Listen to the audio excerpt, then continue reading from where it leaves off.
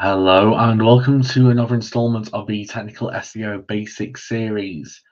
This little mini series where I try to break down some technical SEO complexities into simple explanations as you're learning the technical SEO craft.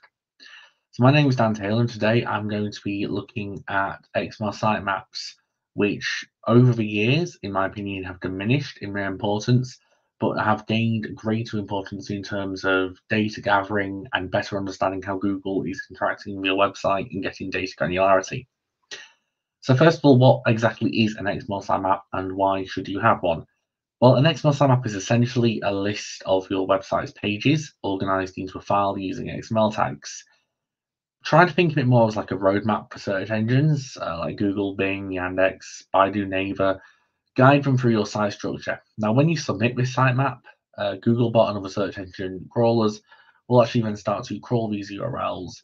Now, this doesn't necessarily guarantee indexing, but it is another accessibility path and identification path for them. Now, the quicker you get your pages indexed, obviously the faster they appear in search results, and crawling is an important first step to that.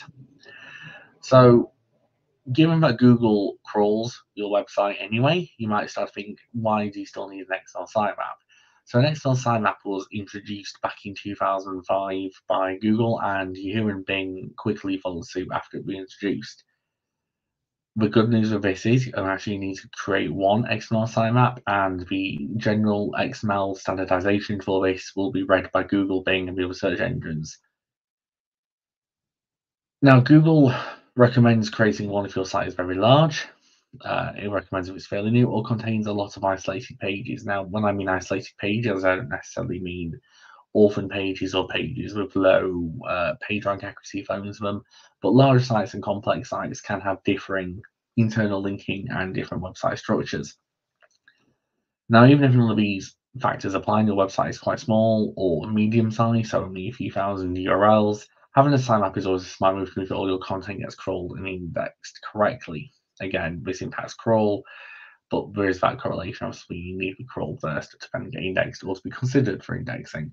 Once you've been considered for indexing, even if you fall foul and fall below the quality threshold, you can get that data at a more granular level through the XML sitemap. So if we speak about then media, now videos and images, Google's video and image search results can drive a lot of traffic to your site and can be useful in terms of brand discovery. So you can actually create separate sitemaps for these and at all add them into your existing sitemap using the special XML tag extensions. It's also important to use descriptive file names for them and, allow, and also follow Google's publishing guidelines for both images and videos if image and video are going to be critical to or important to your overall SEO strategy in creating brand touchpoints and getting exposure. Now, of course, like anything else, XML sitemaps can have issues. One common issue is conflicting URLs. So it's important that all URLs you include in the XML sitemap resolve in a 200, have a canonical version and not set to no index. And it can also be a conflict if you start including things like the non-www and the www of the main versions as well. You also want to make sure, like I said, everything resolves in a 200, so there's no redirects, there's no 404s, even temporary redirects, there's no JavaScript refreshes on them. Every URL wants to be absolute and return a uh, 200.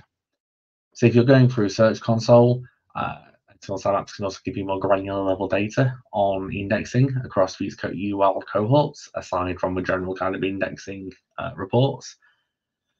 And you can also then use it to spot more kind of page level issues. Um, and you can also see what Googlebot sees as well through fetch for Googlebot, but moving into Search Console is a completely different kettle of fish. But XML sitemaps, I kind of guess, as a TLDR, important in terms of being able to access very granular data, uh, being able to access that kind of information, Search Console. But for most websites, they're not impactful to indexing and may not impactful to crawlability in what the modern search engine space is. So that being said, thank you for tuning in to what has been another installment in this little technical SEO basic series. Please do subscribe to the channel if you're enjoying this kind of content and also check out um, the other videos in this series and also the other content we're producing on the channel as well, such as the SEO huddle and other videos as well. And thank you very much for watching.